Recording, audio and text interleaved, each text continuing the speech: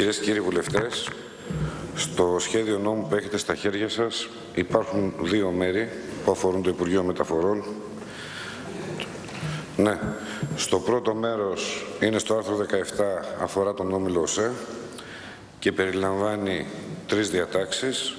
Είναι διαδικαστικού τύπου.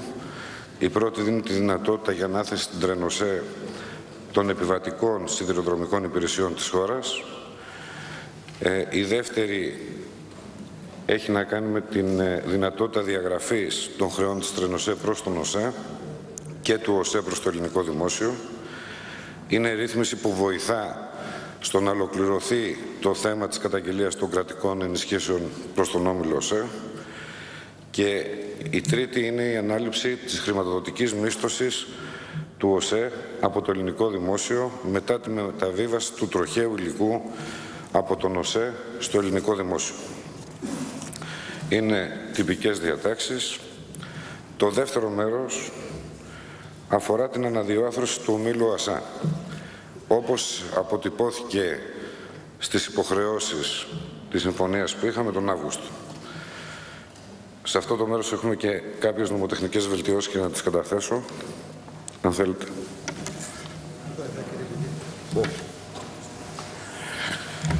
Θα μπορούσαμε να πούμε ότι η λειτουργία του εν λόγω οργανισμού, του ΑΣΑ, αποτελεί ένα τυπικό παράδειγμα των στρεβλώσεων που ταλανίζουν τη χώρα εδώ και δεκαετίες και των χείριστων πρακτικών που επιλέχθηκαν για τον εξορθολογισμό της λειτουργίας τους.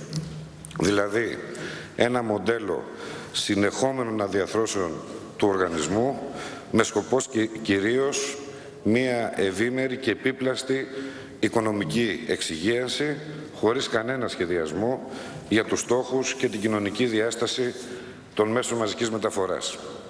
Χωρίς όραμα, χωρίς στρατηγική για την ανάπτυξή τους στο μέλλον. Σε ένα μέλλον που είναι όπως έδειξε η πρόσφατη εμπειρία με τα capital controls, άρρηκτα συνδεδεμένο με την κοινωνική δικαιοσύνη, την προστασία των ευαίσθητων κοινωνικών ομάδων, τη στήριξη της οικονομίας, το ρόλο ενός προοδευτικού και παραγωγικού κράτους, με το άνοιγμα στις νέες τεχνολογίες, με το άνοιγμα και τη σχέση της νέας γενιάς με αυτές. Επομένως, η σημερινή λειτουργία του ΟΑΣΑ κατέδειξε ότι οι όποιες αλλαγές συνέβησαν την τελευταία δεκαετία δεν συνοδεύονταν από τον ξεκάθαρο καθορισμό του ρόλου των αστικών δημόσιων συγκοινωνιών, αλλά εξυπηρετούσαν μία αναγκαστική νεοφιλελεύθερη αναδιάθρωση οργανισμών, οι οποίοι συγκεντρώνουν χρέη και μόνο. Παρατηρούνται λοιπόν πρώτον ξεκάθαρα προβλήματα στη λειτουργία του ομίλου, κάτι το οποίο το έχουμε διαπιστώσει πάρα πολύ έντονα τους τελευταίους 8 μήνες, και δεύτερον, η έλλειψη στρατηγικού σχεδίου ανάπτυξης του ομίλου επικεντρωμένο στον άνθρωπο, στην κοινωνία και προφανώς και στο περιβάλλον. Στον ΟΑΣΑ και τις δύο εταιρείες του ομίλου ΟΑΣΑ, την ΟΣΥ και τη ΣΤΑΣΥ, απαντώνται διαφορετικές αποφάσεις, διαφορετικές πολιτικές, έλλειψη συνεργασίας μεταξύ τους, με αποτέλεσμα να μην μπορεί να αναβαθμιστεί το μεταφορικό έργο, να μην έχουμε συγκρότηση αξιόπιστων μηχανισμών ελέγχου, να έχουμε μεγάλη διαφυγή εσόδων, αποφυγή εισιτηρίων, τα γνωρίζουμε όλοι. Η κυβέρνηση στοχεύει στην οργανωτική αναδιάθεση του ΑΣΑ μέσω της χρήσης νέων τεχνολογιών και της ελοκλήρωσης των έργων του ηλεκτρονικού εισιτηρίου, της ηλεκτρονικής κάρτας, της τηλεματικής και των συστημάτων ελέγχου, μέσω της συνεργασίας του ΑΣΑ με την τοπική αυτοδιοίκηση και την ένταξη στο σχεδιασμό των αστικών συγκοινωνιών, του διαδημοτικού συγκοινωνιακού έργου και αυτό θα το κάνουμε αξιοποιώντας το λιμνάζο τροχαίο υλικό που είναι καθυλωμένο στα μαγοστάσια. Δυστυχώς αυτά παραλάβαμε εκατοντάδες ακινητοποιημένα λεωφορεία μέσω της ανάπτυξης ενός ζωνικού συστήματος τιμολόγησης με επίκεντρο τον εργαζόμενο, τον πολίτη, την ποιοτική αναβάθμιση του μεταφορικού έργου. Μέσω της ύπαρξης κινήτρων για τη χρησιμοποίηση των μέσων μαζικής μεταφοράς, της καθημερινής χρήσης τους από τους περισσότερους πολίτες για να διασφαλίσουμε τη βιωσιμότητά τους. Και μέσω κυρίως του κοινωνικού έργου των μέσων μαζικής μεταφοράς στις ευπαθείς κοινωνικές ομάδες, στους ανέργους, στα άτομα με ειδικά προβλήματα. Εκεί θα δείξουμε ιδιαίτερο βάρος στην, προς, στο μπορούν να μετακινηθούν τα άτομα ειδικές ανάγκες. Αυτή τη στιγμή και οι δομές του ΑΣΑ έχουν απαξιωθεί, αλλά και τα μέσα μαζικής μεταφοράς και ο εξοπλισμός που έχουν δεν χρησιμοποιείται καν ενώ υπάρχει για να διευκολύνουν τους ανθρώπους αυτούς με αυτά τα προβλήματα, τους συμπολίτες μας. Στη διαπραγμάτευση του σχεδίου αναδιάθρωσης με τους θεσμούς, το Υπουργείο Μεταφορών και Δικτύων προέταξε και κατέκτησε ένα ξεκάθαρο σχέδιο για την αναδιοργάνωση του ομίλου του ΑΣΑ, όπως θα δείτε στο παράρτημα 1 του νόμου, και διασφαλίσαμε το δημόσιο χαρακτήρα των αστικών συγκοινωνιών της Αθήνας, τη βελτίωση της λειτουργίας του ομίλου ΑΣΑ με δικαιοσύνη και έλεγχο αποφάσεων ισότιμα και στις τρεις εταιρείες, τη μέρημνα για τις ευπαθείς κοινωνικές ομάδες, κυρίως στους ανέργους, που έχουμε δεχθεί και πολύ κριτική γι' αυτό, και των εργαζομένων, όπως είναι η διατήρηση της τιμής της μηνιαίας κάρτας, απεριορίστων διαδρομών παρά την αύξηση του ΦΠΑ, αυτό θα το εξηγήσω και στη συνέχεια, και τέλος την αποδοχή των αξώνων του Σχεδίου Ανάπτυξης των Δημόσιων Συγκοινωνιών της Αθήνας, που θα στηριχτεί σε τρεις πυλώνες. Στην αναδιάθρωση του κόστους του οργανισμού, παραδείγματος χάρη ψηφιοποίηση λειτουργίας και των υπηρεσιών του ομίλου, η συνένωση τμήματων που θα μας δώσει τη δυνατότητα ενός καλύτερου σχεδιασμού, η βέλτιστη διαχείριση του στόλου και όχι να έχουμε εκατοντάδες λεωφορεία κινητοποιημένα και των ομολογίων, η πρόσληψη νέου ειδικού προσωπικού, όπως των οδηγών και του τεχνικού προσωπικού και το λέω αυτό γιατί και αυτές οι δημόσιες, οι δημόσιοι φορείς, οι δημόσιες εταιρείες και άλλοι πληρώνουν εκατομμύρια εκατομμυρίων σε ε, εργαζόμενους που δεν φτάνουν σε υπερορίες ενώ από αυτά τα χρήματα θα μπορούσαν να προσληφθούν και άλλοι εργαζόμενοι και να προσφέρουν τις υπηρεσίες τους. Το δεύτερο είναι η αύξηση των εσόδων. Η φιλοσοφία δεν είναι η αύξηση των τιμών των προϊόντων, αλλά η διεύρυνση των χρηστών των δημόσιων συγκοινωνιών, της ένταξης των διαδημοτικών δρομολογίων μέσω ενός καλύτερου σχεδιασμού, της τηλεματικής, του ζωνικού συστήματος που είπαμε πριν και τέλος τη σύνδεση του ομίλου με τον πολίτη και με το περιβάλλον. Όσον αφορά τις τροπολογίες, έγινε μια δύσκολη διαπραγμάτευση με σκοπό να διαφυλάξουμε ότι η αναδιάθρωση του ΑΣΑ, αν και εισήχθη ευνίδια και σε πολύ πιεστικά χρονικά πλαίσια εξαιτίας των εγχώριων καλοθελητών, θα υπηρετήσει τις αρχές που αναφέραμε παραπάνω. Στους εγχώριους καλοθελητές θα κάνω ειδικές αναφορές για να γνωρίζει και το Κοινοβούλιο και ο ελληνικός λαός ποιοι και τι προτείνουν, ποιοι και τι έκαναν χωρίς έγκριση και αυτές τις μέρες και τις μέρες της διαπραγμάτευσης. Αδιαλείπτως. Συγκεκριμένα, με την προσθήκη της παραγράφου 9 στο άρθρο 1 του σχετικού νόμου, διασφαλίζεται ότι η Στασή και η ΟΣΥ θα έχουν λόγο και έλεγχο στο Διοικητικό Συμβούλιο του ΟΑΣΑ και παράλληλα θα δεσμεύονται ουσιαστικά από τις αποφάσεις του ΟΑΣΑ. Δηλαδή, με δύο λόγια, ενισχύουμε την ομιλική λειτουργία, την καλύτερη συνεργασία μεταξύ των τριών φορέων. Εδώ αποφύγαμε την πρόταση που είχε γίνει, κατανοείται από ποιον και ποιος τον είχε βάλει εκεί, να έχει την ευθύνη για αυτά που πρότεινε και για αυτά που έχει κάνει αυτόν τον καιρό. Την πρόταση που έλεγε ότι ο ένας πρόεδρος και διευθύνων σύμβουλος πρέπει να είναι πρόεδρος και στις τρεις εταιρείες. Αυτή ήταν η πρόταση που διαπραγματευτήκαμε. Δηλαδή, είναι αυτό το ανάποδο με αυτό που είχαμε αντιμετωπίσει για την πολυθεσία.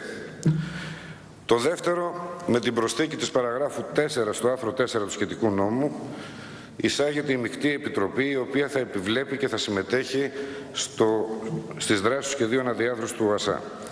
Η σκοπιμότητα της ελόγου Επιτροπής είναι για να διασφαλιστεί η ενεργό συμμετοχή και δέσμευση όλων των εμπλεκόμενων φορέων και Υπουργείων που συνεργάζονται με τον ΟΑΣΑ, τη Στασή και την ΟΣΥ, καθώς και στη συνέχεια να παρακολουθεί ανελιπώς το σχέδιο, κάτι που αποτυπώνεται και από τη συμμετοχή υψηλόβαθμων υπηρεσιακών παραγόντων και όχι από τα γραφεία των Υπουργών σε αυτή την Επιτροπή.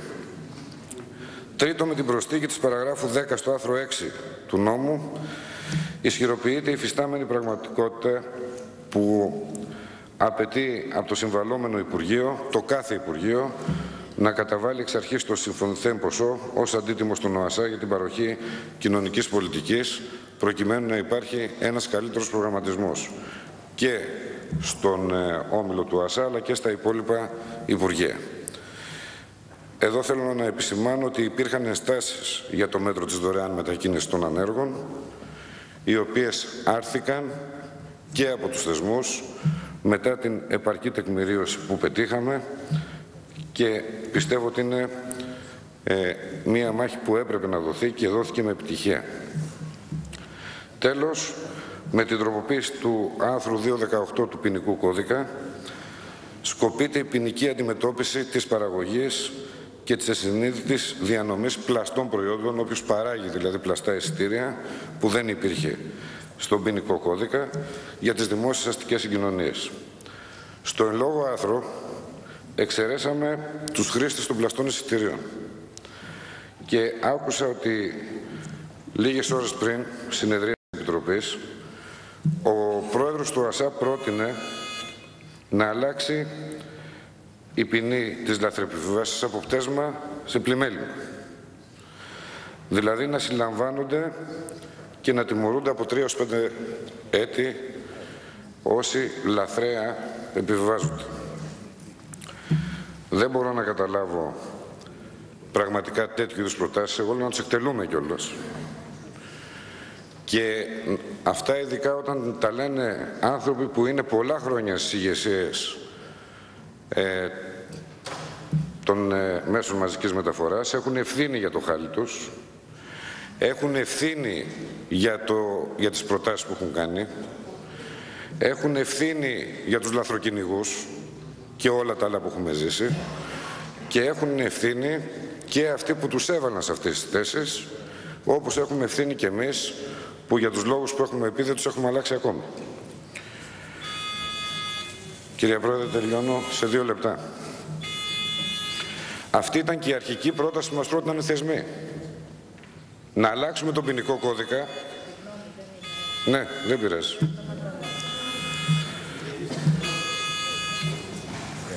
Όλα τα παραπάνω, αγαπητοί συνάδελφοι, αποτυπώνουν το πνεύμα της κυβέρνησης ότι σε κάθε διαπραγμάτευση θα διασφαλίζουμε πρώτα τα συμφέροντα της ελληνικής κοινωνίας και της ελληνικής οικονομίας. Έτσι, το σχέδιο για την αναδιάθρωση του ΑΣΑ είναι μια συνειδητή επιλογή που δίνει όραμα, σχέδιο και ευθύνη στις αστικές δημόσιες κοινωνίες των Αθηνών να συνδράμουμε θετικό κοινωνικό και περιβαλλοντικό πρόσωπο στην ανάδαξη της χώρας.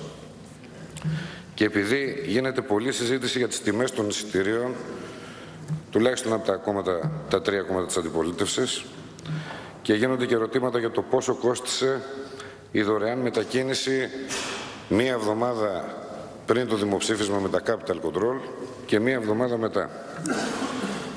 Τυπικά να πω ότι στήχησε κάτι παραπάνω από 10 εκατομμύρια. Ουσιαστικά να πω ότι περίμενα τρεις μέρες, γιατί άκουγα, άκουσα μόνο την ανακοίνωση του ποταμιού και τις δηλώσεις που έκανε ο κύριος Μανιέτης. Ε, περίμενα όμως τη Νέα Δημοκρατία, ήμουν απόλυτα σίγουρος ότι θα είναι ευθυγραμμισμένος σε μια λογική παλαιοκομματισμού και λαϊκισμού ταυτόχρονα για τα μέσα μαζικής μεταφοράς. Χθες το βράδυ που τοποθετήθηκε ο κύριος Αυγενάκης και η Νέα Δημοκρατία θα πρέπει να απαντήσουμε συνολικά στην πλειοδοσία των ψεμάτων και της πολιτικής λάσπης. Καταρχάς να πούμε ότι με τη συμφωνία του καλοκαιριού τα τρία κόμματα ψήφισαν μαζί με το ΣΥΡΙΖΑ την επιβολή ΦΠΑ και στα μέσα μαζικής μεταφοράς. Είναι ο νόμος 43-34 και πραγματικά δεν μπορώ να καταλάβω αντί να επενέσουν την κυβέρνηση που πέτυχε μέχρι τέλος του χρόνου να μην μπει πρόσθετη αύξηση στα εισιτήρια λόγω της αύξησης του ΦΠΑ για διάταξη που ψήφισαν να βγαίνουν τώρα και να αντιλιδωρούν. Εδώ μιλάμε για τρέλα. Το δεύτερο είναι ότι γίνεται κριτική για τα 10 εκατομμύρια και κάτι που στήχησαν οι δύο εβδομάδες των δωρεάν μεταφοράς για τα capital control. Αγαπητοί συνάδελφοι, μπορείτε να αποδείξετε όσο θέλετε και για μια ακόμη φορά πόσο μακριά βρίσκεστε από τον πολίτη, από την κοινωνία, από τα προβλήματά της και πόσο ευθυγραμμισμένοι είσαστε σε αυτού του είδους την κριτική.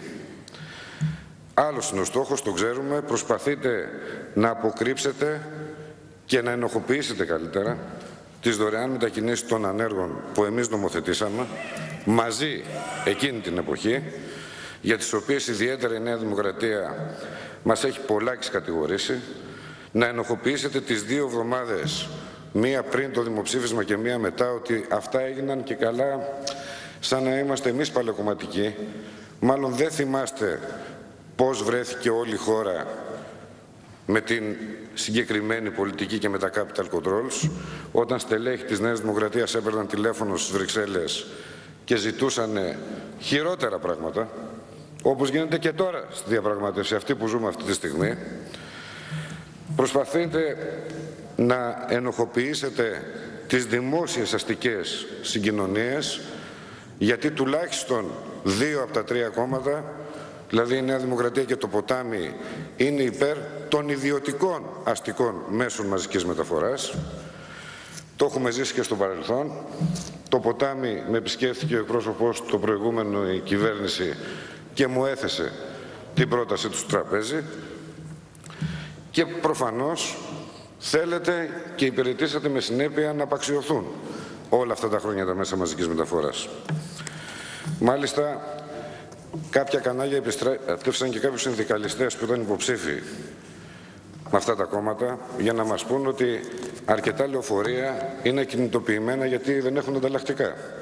Όσοι γνωρίζουν τι γίνεται όλα αυτά τα χρόνια στο αυτούς τους οργανισμούς, το μόνο που μπορούν να κάνουν είναι να χαμογελάσουν. Εγώ θέλω να θυμίσω λίγο τα έργα του ομίλου ΑΣΑ τα τελευταία χρόνια και ιδιαίτερα στη Νέα Δημοκρατία, γιατί ο κ. Σαββιανάκης έχει πολύ κοντή μνήμη, απολύσατε και μετατάξατε προσωπικό με αποτέλεσμα να μην υπάρχουν οδηγοί, τεχνίτες και κρίσιμες ειδικότητες στις αστικές συγκοινωνίες. Τοποθετήσατε ανεξιοκρατικά δικούς σας σε όλες τις θέσεις ευθύνης, ακόμη και όταν η κυβέρνηση άλλαξε τους τελευταίους έξι μήνες, συνεχίσατε το βιολί να τοποθετείτε σε θέσεις ευθύνης αναξιοκρατικά Υπάρχουν υπηρεσίες που είναι ανέκδοτο. Οι θέσεις, αυτοί που κατέχουν τις θέσεις ευθύνες, οι δικοί σας άνθρωποι, είναι περισσότεροι από τους τεχνίτες. Είναι τραγικό αυτό που έχει γίνει εκεί.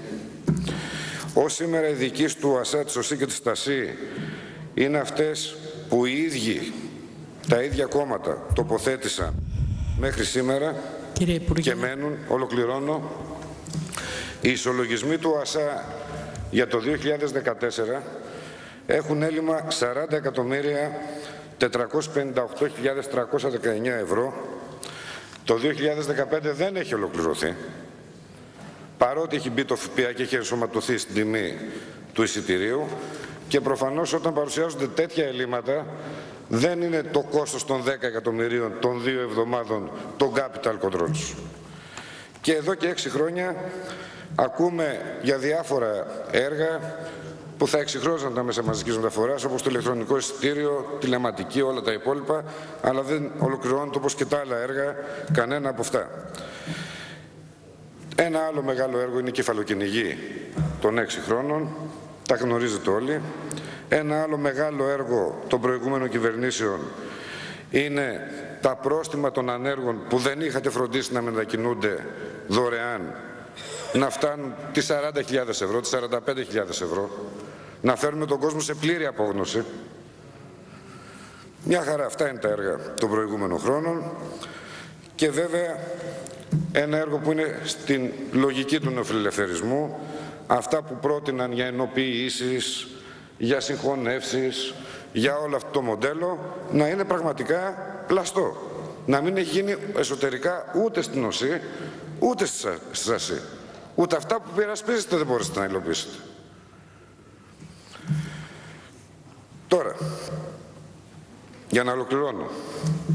Άκουσα και είναι προσωπικό αυτό κύριε Πρόεδρε, οπότε μου επιτρέψετε λίγο χρόνο ακόμη, τον κύριο Βορύδη, τον κύριο, την κυρία Χριστοφιλοπούλου και τον κύριο Κωνσταντινόπουλο για το ασφαλιστικό και για τους ε, αγώνες που δώσαμε και που έδωσα ως πρόεδρος του ΤΕ μαζί με τους μηχανικούς.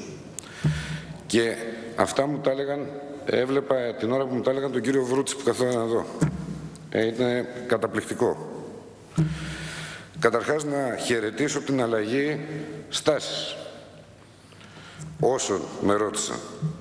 Διότι όλα αυτά τα χρόνια ως πρόεδρος του ΤΕ έβλεπα συναδέλφους μηχανικούς που είχαν τα παιδάκια τους καρκίνο και άλλες ασθένειες και δεν μπορούσαν με την πολιτική του κύριου Βρούτση και την αναλγησία που είχαν αυτές οι πολιτικές και οι διοικήσεις που είχαν βάλει στο Ταμείο να μην μπορούν να κάνουν θεραπεία.